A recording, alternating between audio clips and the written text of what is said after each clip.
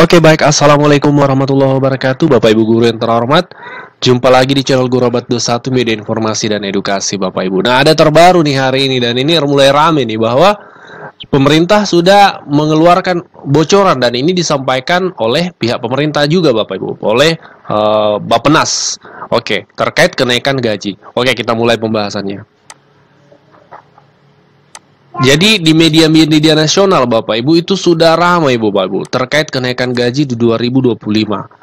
Ini ada dua sumber yang akan kami kutip. Yang pertama dari CNN ya. CNN Indonesia adalah media nasional menyampaikan bos Bapenas, Badan Pembangunan Nasional ya, pastikan gaji PNS naik tahun depan. Kemudian dari media nasional yang lain yang tentu sudah tidak asing lagi untuk Bapak Ibu, liputan6.com menyampaikan gaji PNS naik di 2025 Bapak Ibu.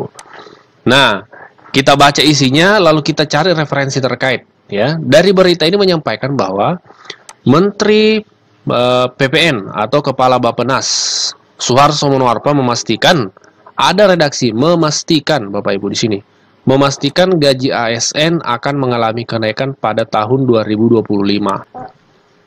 Nah, Suharso menyebut, di sini kita baca dulu Bapak Ibu, Suharso menyebut pemerintah tengah menghitung kenaikan gaji ASN sebelumnya pada tahun 2024 kenaikan tercatat 8%. Kita sedang hitung tapi sudah direncanakan slotnya ada. Suharso bilang prioritas kenaikan gaji ini akan difokuskan pada pegawai fungsional, terutama di sektor penting, yaitu pendidikan dan kesehatan. Ya, kesehatan dan pendidikan. Ini menarik Bapak Ibu ya. Uh, ada skema prioritas Bapak Ibu untuk kesehatan dan pendidikan. Berbicara pendidikan ya otomatis berbicara guru terkait ASN dalam hal ini. Nah, kita baca dulu lebih lanjut. Yang kita dorong terutama adalah pegawai-pegawai fungsional yang memiliki peran vital seperti di bidang kesehatan dan pendidikan. Suharto juga menambahkan bahwa penyesuaian gaji ini diperlukan untuk menanggapi ketidaksesuaian antara gaji dan inflasi yang terjadi. Ya, memang ada hal yang memang harus di-adjust, disesuaikan dengan misalnya sudah berapa lama mereka belum di-adjust, disesuaikan dengan inflasi dan seterusnya. Sebagaimana diketahui, Menko e, Bidang Perekonomian Erlangga membenarkan adanya rencana kenaikan e, gaji PNS pada 2025. Nah, kata Pak Erlangga, iya, disesuaikan.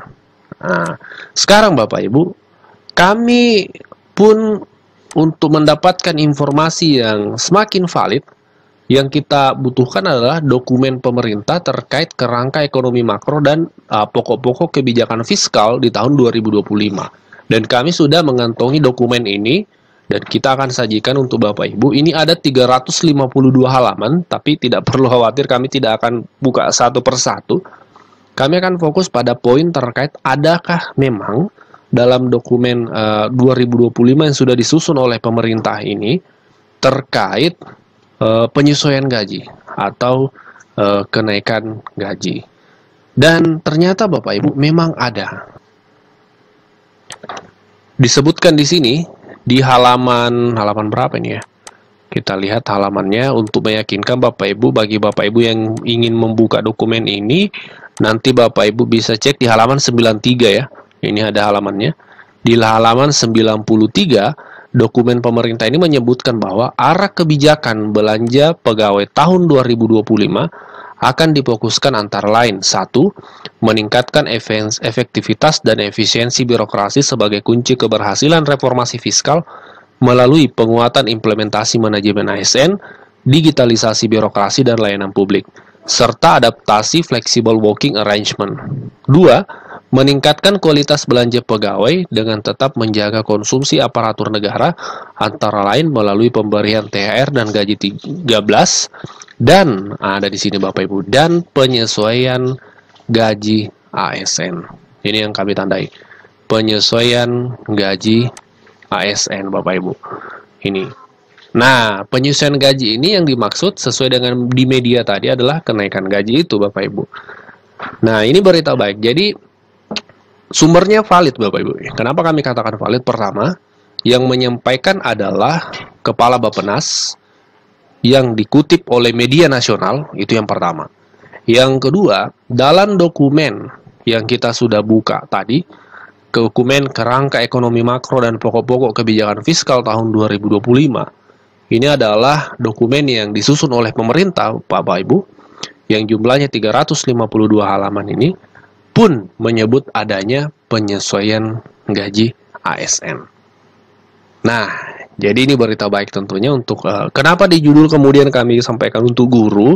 Ini perlu disclaimer karena memang kan channel kita Bapak Ibu channel untuk guru ya. Jadi ini berlaku secara umum untuk ASN. Hanya kami sebut guru ya karena memang channel kita guru. Jadi subscriber viewer kita itu kan kebanyakan guru. Seperti itu. Jadi uh, detailnya tentu Bapak Ibu pertanyaan berikutnya ada tidak informasi terkait berapa persen? Nah, tidak perlu khawatir Bapak Ibu, pastikan Bapak Ibu uh, follow terus, pantau terus channel ini. Uh, kami akan mencari informasi detail dan valid tentunya terkait ada tidak bocoran berapa persen atau seperti apa skemanya uh, yang disampaikan oleh pihak terkait dalam hal ini pemerintah. Untuk di video hal ini, kami hanya menyampaikan garis besarnya bahwasanya 2025 dari dua sumber yang kita bahas tadi itu memang ada rencana penyesuaian gaji. Penyesuaian gaji yang dimaksud adalah kenaikan gaji.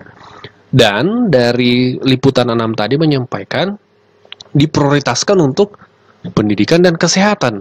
Nah, ini menarik nih. Apakah skemanya akan berbeda di tangan tahun 2024 dengan adanya skala prioritas atau seperti apa? Kita lihat nanti Bapak Ibu. Kami akan coba dalami informasinya. Kami akan sampaikan di video berikutnya. Jadi Bapak Ibu, untuk video hal ini sumber informasi kita ada tiga dan ini valid ya. Yang pertama tadi dari CNN, dari berita Bos Bapenas pastikan gaji PNS naik tahun depan. Tahun yang depan yang dimaksud itu adalah tahun 2025. Ya, kita lihat di CNN sini. Menteri Perencanaan Pembangunan Nasional PPN atau Kepala Bapenas Suharso Monoarfa memastikan gaji PNS naik pada 2025 dan juga dari media yang lain yang juga uh, berskala nasional. Liputan6.com juga menyampaikan yang sama, gaji PNS naik di 2025 dan juga yang paling penting salah satunya adalah dokumen yang sudah disusun oleh pemerintah dan kita sudah cek sama-sama tadi terdiri dokumen kerangka ekonomi makro dan pokok-pokok kebijakan fiskal tahun 2025 dalam salah satu halamannya memang menyebutkan adanya uh, penyesuaian gaji untuk ASN di tahun 2025 Bapak Ibu. Silahkan sampaikan opini dan pendapatnya di kolom komentar, kita diskusi di sana, kita sharing di sana Bapak Ibu.